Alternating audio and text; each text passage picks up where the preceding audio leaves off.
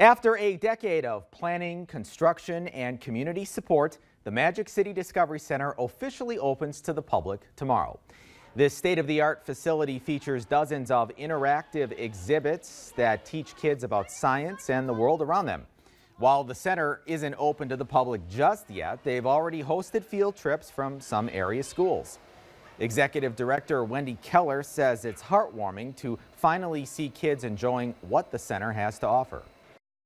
It's so fun to be able to see the kids just loving it and learning, and you can almost see their little gears turning. It's so exciting.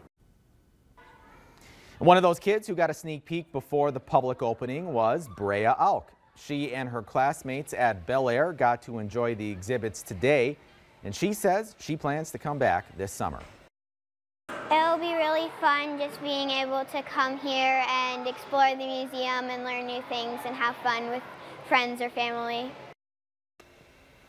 Now, Keller says they're implementing timed admission in an effort to prevent uh, rushes at certain times, so everybody has the chance to enjoy the center, but your admission is good for the entire day. It opens to the public at 10 a.m. We'll have info on hours on our website.